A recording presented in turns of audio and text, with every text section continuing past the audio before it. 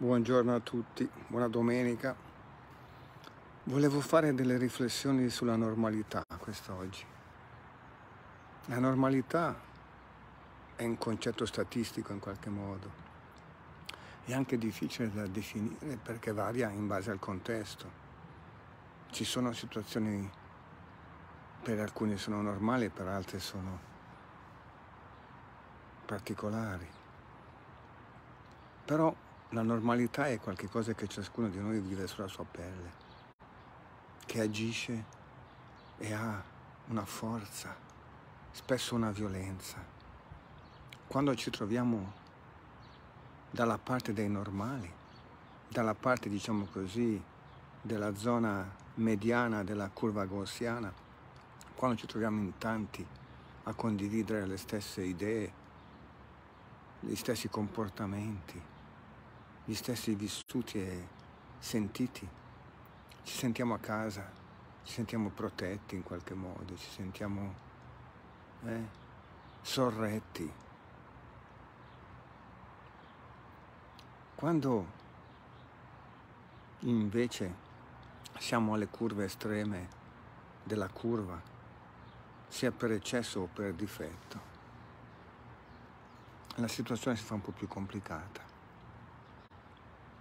pensiamo per difetto a chi è malato, a chi ha dei, delle disabilità,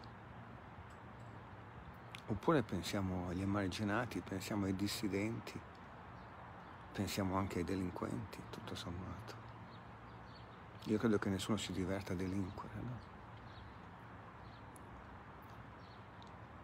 E poi pensiamo a chi invece magari è originale, creativo, atipico, a chi magari ha uno sguardo un po' più ampio. Pensiamo a chi ha fatto la storia. Noi abbiamo nella nostra tradizione il Maestro Gesù Cristo, oppure pensiamo alla caverna di Platone essere dalla parte elevata, diciamo così, della curva gaussiana significa accorgersi di qualche cosa che altri non si accorgono. O magari significa anche avere uno sguardo diverso. E allora ovviamente cominciano i guai.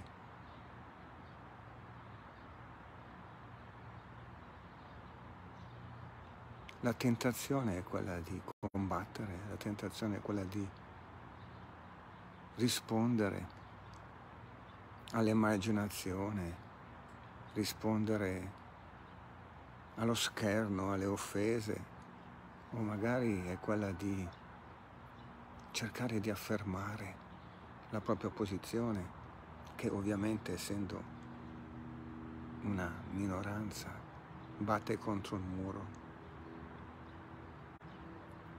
del mainstream, batte contro il muro della maggioranza e quindi ti fa sentire in qualche modo o escluso oppure incompreso oppure eletto oppure comunque ti fa sentire fuori posto in questa situazione, in questo mondo, in questo contesto particolare. Io credo che ci sia una sola soluzione per chi si sente atipico, per chi si sente meno normale, soprattutto in un momento come questo. E non cadere nella tentazione dell'emotività, dell'identificazione emotiva, non cadere nella tentazione del giudizio, non cadere nella tentazione del senso di superiorità o di inferiorità non cadere nella tentazione dei complottismi vari. La parola è una e si chiama compassione. Dovremmo tutti andare un po' a lezione dai buddisti, io credo.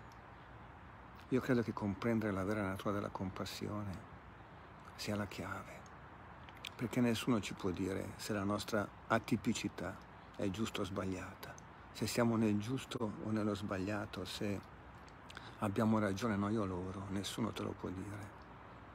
Ma hai una misura dentro di te, che è il grado di compassione che riesci ad avere, il grado di compassione per gli amici che ti scherniscono, per eh,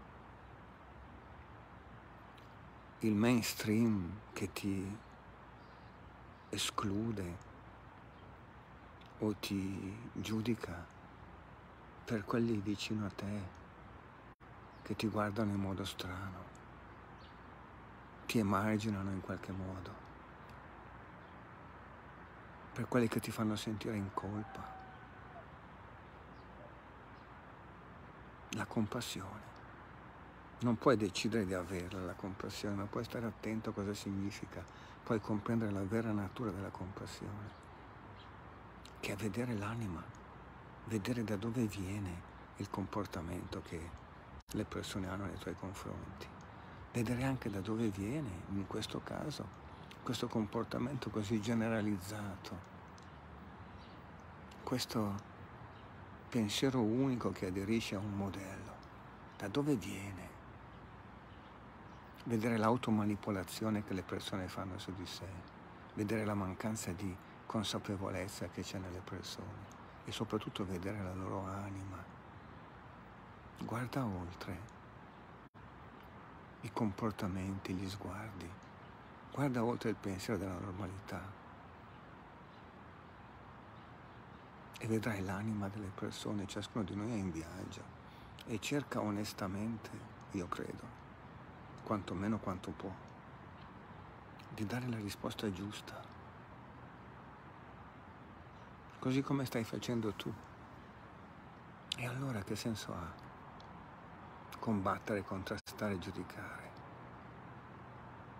Compassione, sguardo benevolo che vede la persona, il piccolo uomo, la piccola donna dentro l'altro, che tenta in qualche modo di trovare la sua via per stare al mondo e per orientarsi nelle situazioni, in questo caso situazioni di emergenza. Ognuno al suo posto cerca di fare quello che può con il grado di consapevolezza che ha.